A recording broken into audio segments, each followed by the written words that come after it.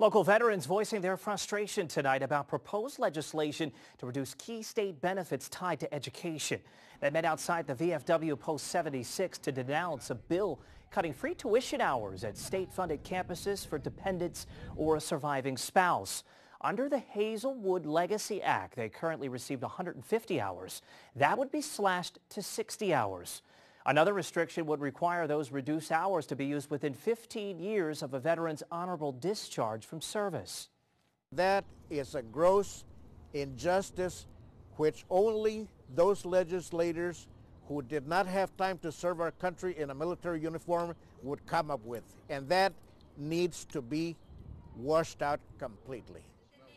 Now the bill is in the Senate for a vote. Veterans are urging people to contact their state legislators to help them keep the benefits they say they fought for.